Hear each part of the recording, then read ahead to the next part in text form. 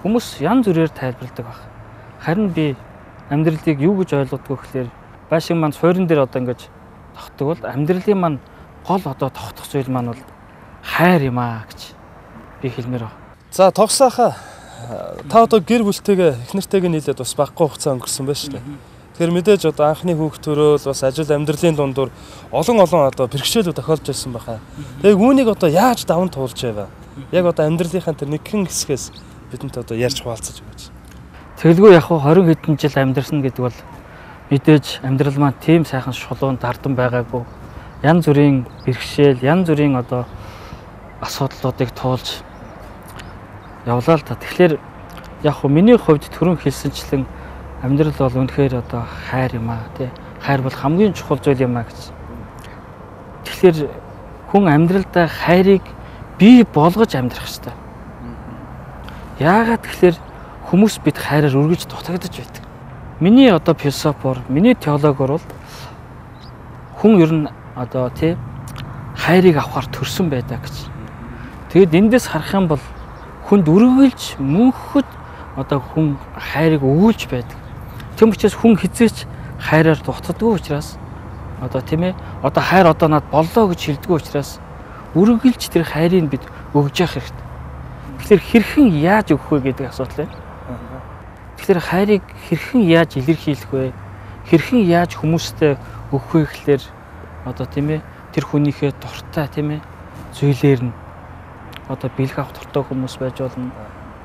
А бас ингээд хамтдаа ингээд цаг өнгөрөхдөө яг би одоо өөрийгөө хайрлуулж байна гэж мэдэрдэг хүмүүсүүд байд мэддэг хүмүүсүүд байдаг. Тэгвэл тэр хүмүүстэй хамт цаг өнгөрөх ч юм уу ямар ч байсан хайрыг тасралтгүйгээр л одоо хүмүүст ингэж өгөх ёстой байна өгж байдсан байна гэдгийг л одоо энэ амьдралынхаа хугацаанаас олж авсан да. Тэгэхээр батгасхаа бас нэг юм байна л да. Яг бид нар ингээд амьдрал дээр тэ би бинийгаа хайрлах ёстой тэ бас хүн өөрө хайрлуулах бас бусдыг хайрлах хэрэгцээтэй тэ бас бүтээгдсэн гэдээ ярьдаг. Гэтэл заримдаа бидний амьдралд хайрлахад ч хэцүү тий. Заримдаа бид нар бусдын бас хайрыг хүлээгдэж хэцүү тийм нөхцөл байдлууд гардаг шүү дээ.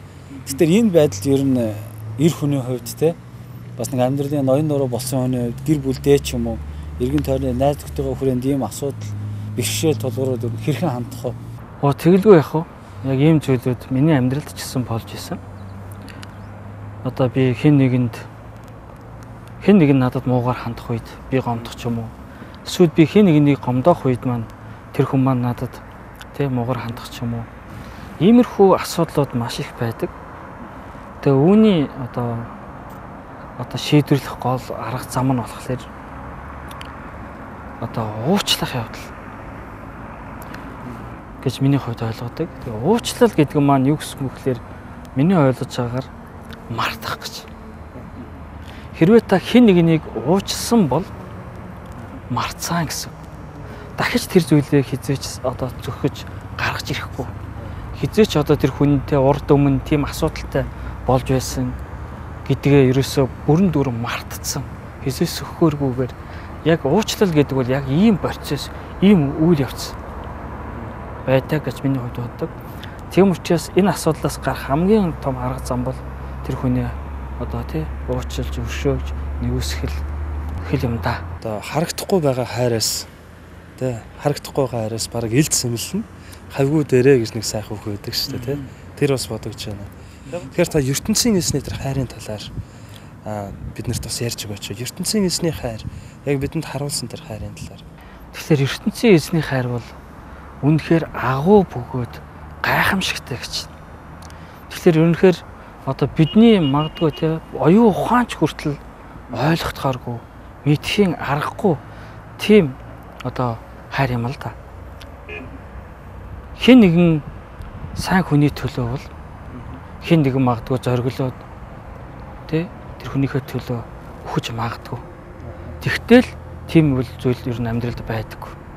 А тэгтэл ертөнцийн эзэн бол тийм ээ бидний гим нүгэлтэй байхад тий түүнийг таньж мэдэхгүй түүнийг эсэргүүцэж тий түүнд дуулгаргүй түүнийг сонсгож хүсэхгүй байгаа байхад хүртэл тэр биднийг одоо болтол хайрласаар л байдаг. ертөнцийн эзэн өөрөө хайр юм а гэж. түүний мөн чанар нь угаасаа л хайр. Тэр үргэлж мөнхөд тэр хайраа илчилж илэрхийлж байдаг.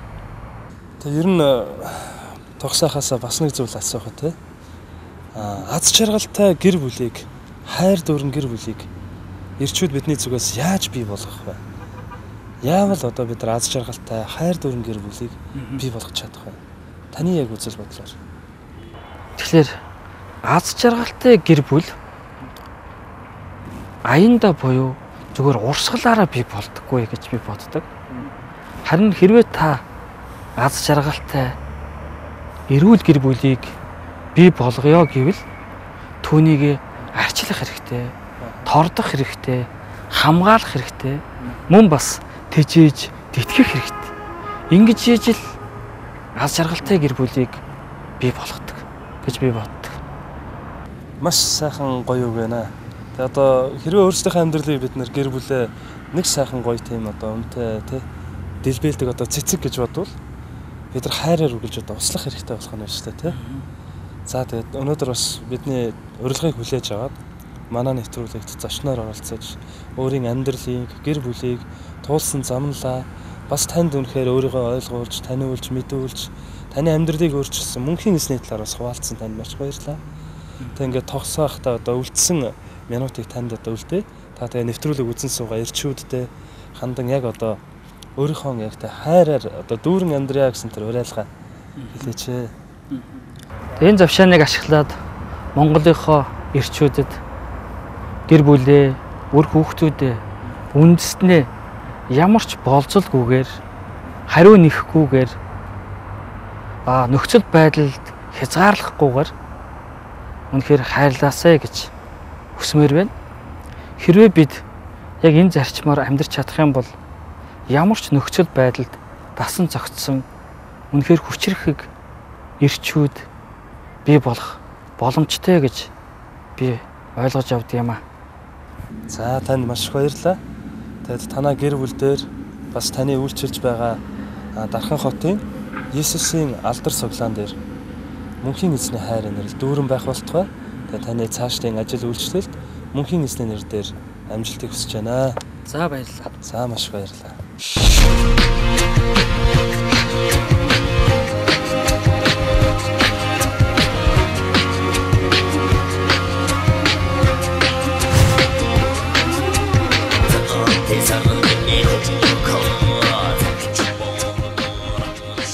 Өнөөдрийн сэдв их сонирхолтой гоё сэдв байлаа шүү. Тэгэд хин өнөөдрийн бас зочноор орсон тогсоох манаас ярьж байна. Тэгээ ер нь амьдрал нэрээ аягүй ол юмнаас бүрэлддэгч харин хамгийн одоо чухал нь хундаамтай суур тэр нь бол хайр юм а гэдэг хэсэг бол их гоё байлаа. Би бас тэр жишээг нь сонсоход их сайхан санагдсан шүү. Тэг ингээд байшин тээвэр, хан, туур, цонх гэл тэ олон юмнаас бүрддэг. Тэр бол зөвхөн харагддаг хэсэг тий. Гэтэ суур бол харагддаггүй боловч байшингийн хамгийн чухал хэсэг. Тэр хүмүүс бидний хувьд ингээл тий юу өмсөж байна, ямар царайж ус гадаад өнгө зөмж идэл хэрглэж байгаа зүйл харагддаг боловч тэр хүний амьдралын хамгийн гол суур нь хайр юм шүүгээ тий. Үнэхээр тэгэхээр бид нэр өөрсдөө харагдахгүй байгаа тэр амьдралдаа тий. Илүү их тэр бац суурийг тавих нь айгүй чухал юм а гэдэг бас ахын яриад ярилцаа сууж хат их гоё жишээ bay шүү. Бас бид нар бас залуу хүмүүсийн хувьд амьдралдаа тий. Одоо сонсоолчтой сонсоо их олон сайхан зүйл ярьлаа шүү. Тэгэл бид нар залуу хүмүүс ахтар тэгэл амьдралд одоо ор хорон байрч гэдэг юм уу тий. Унах хунаа гэдэг тэгэл олон зүйлд тий. Чухал шүү гэж бодож явсаар байтал амьдралынхаа хамгийн чухал зүйлийг тий. Бас олж чадлаггүй. Тэгэл амьдралынхаа яг зөв суурийг тавьж чадлаггүй явсаар бол нэгд мэтгэд залуу нас дууссан тий. Байх үедээ гэж. Тий. Юу хайр устай хүнийг ер нь айгүй хөөрчдөг юм а тий. Долоо хүмүүст ингээд хилээл заагаал загнаал замдраад байсан ч гэсэн одоо нөгөө ус ус ингээд чулууг нөгөө мөлийлэгдэг шиг ямар ч хатуу ширүүн уур уцаартай бухимдалтай хүнийг хайр ингээд өөрчилж шинчлэх юм. Ер нь жага их нэртэйгээ гэрлээд хэдэн жил болж байгаа вэ? Бид ч их нэртэй гэрлээд одоо 5 жил гарan болж шүү дээ.